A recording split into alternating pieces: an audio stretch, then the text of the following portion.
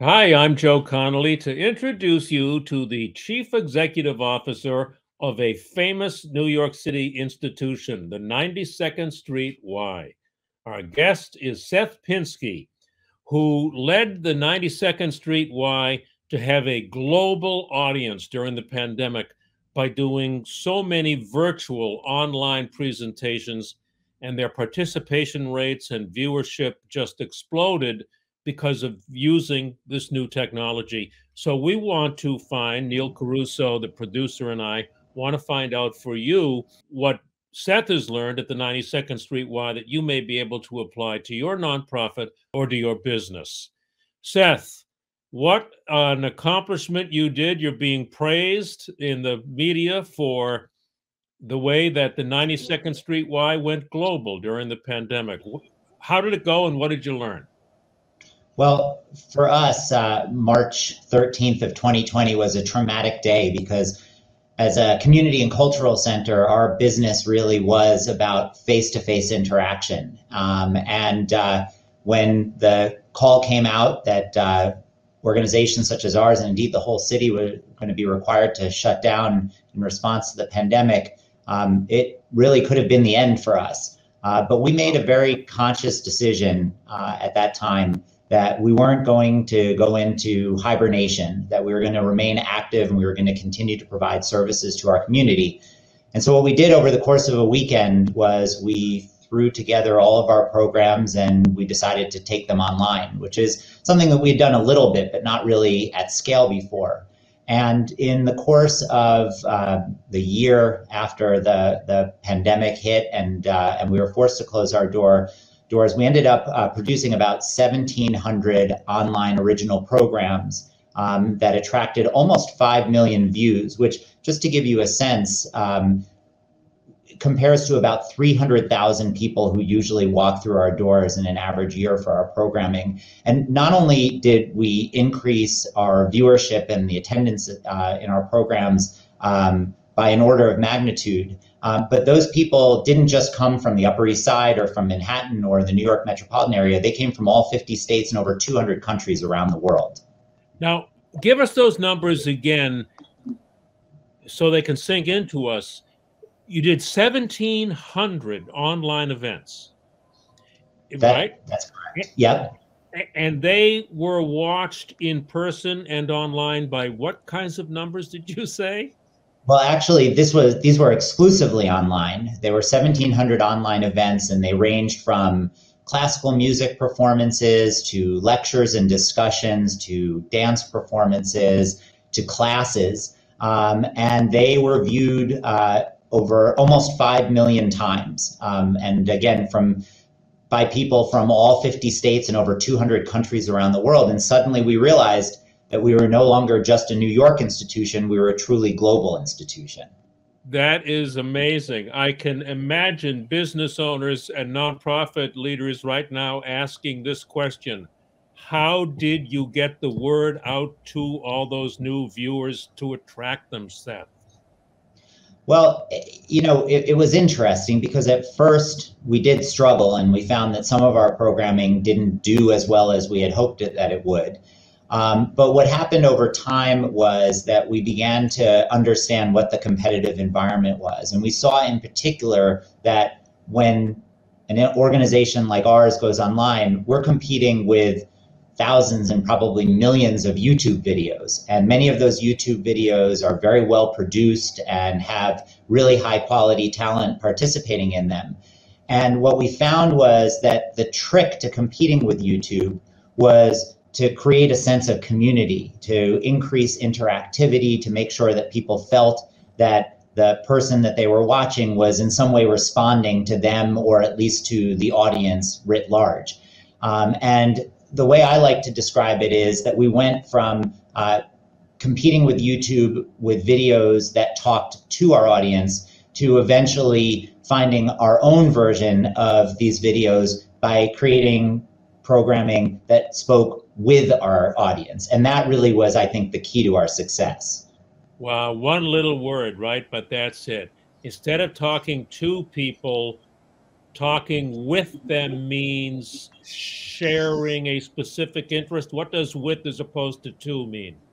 Well, it it really works on multiple levels and it obviously depends on the program. But for example, giving audience members online the opportunity to speak to a celebrity that they wouldn't otherwise have the chance to speak to, or if they themselves don't get to speak to that to cele- celebrity, to hear other people in the audience like them have uh, the conversation and ask a question. It also means that um, we increasingly tried in our classes to allow the students in the classes to interact with one another and to feel like they weren't just in an online classroom, but they were in an online campus. And that distinction, again, was really critical from our perspective. Fascinating. Neil. You know, that interaction is so important. I think it's, you know, part of Joe's success with the business breakfast that we do and now virtual I wonder what are people um, finding the, the topic that, that they want to see more of? I mean, not just the interaction, but what's in demand in terms of subject matter? You know, it's really interesting. If, if you had asked me that question at the beginning of this, I probably would have given you an entirely different answer than I'm about to give you.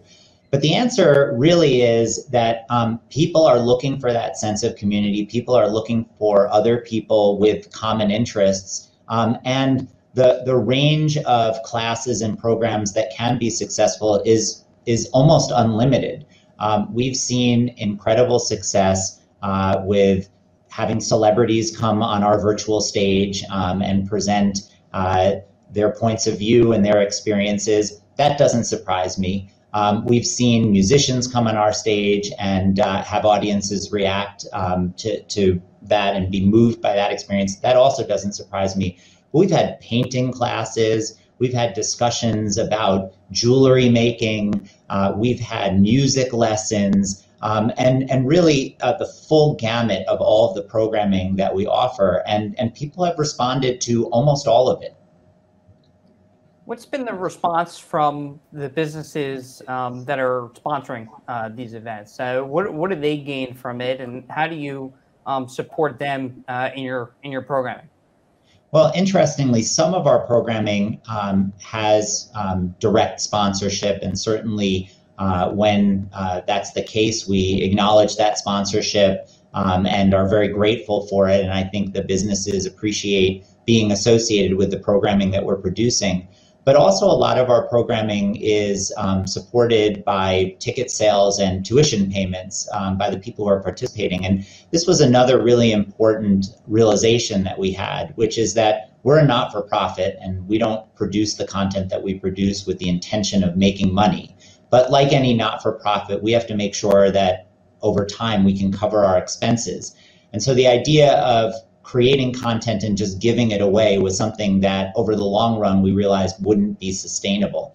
And so in some cases, we started to put our programming behind a paywall. And amazingly, what we found was that our audience was willing to pay for the content. In fact, during that year that I was just describing a couple of minutes ago, uh, we ended up selling about 100,000 seats and, and um, uh, tickets to our programming um, to people from all over the world. And what was most amazing about that was that about 60% of the people who bought those tickets or those seats um, in our programs were people who had never done anything before with the 92nd Street Y and came from outside of the New York metropolitan area. And these are virtual uh, uh, seats or seats at the Y? Virtual still. Correct. And now that we're reopening our building um, and, and we're fully open and, and all of our programming is back in person, our intention is to keep this virtual element active um, and, in fact, to try to expand it over time.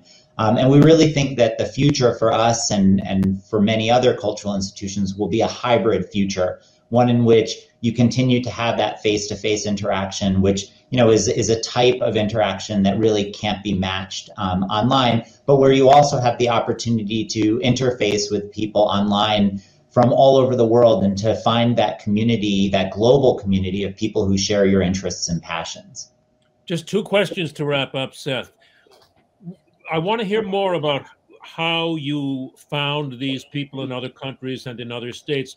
Did you advertise on Google? Did how how through word of through advertising did you get them to come? So some of it is um, through word of mouth. There is a large community of ex-New Yorkers um, all around the world who have a connection to New York institutions like the 92nd Street Y, and they were able to find us. And I can't tell you how many notes we got from people saying, we were thrilled to find your events online. We missed the 92nd Street Y so much, and now we have an opportunity to reconnect with it. Um, but some of it also was through um, standard marketing, um, sending out emails, um, trying to find people on uh, Facebook and uh, YouTube and elsewhere who had interests that were similar to the programming that we were producing. And it was the combination of those things that that really led to our success. Topics, then, right? You you went to the audience interested in the topics.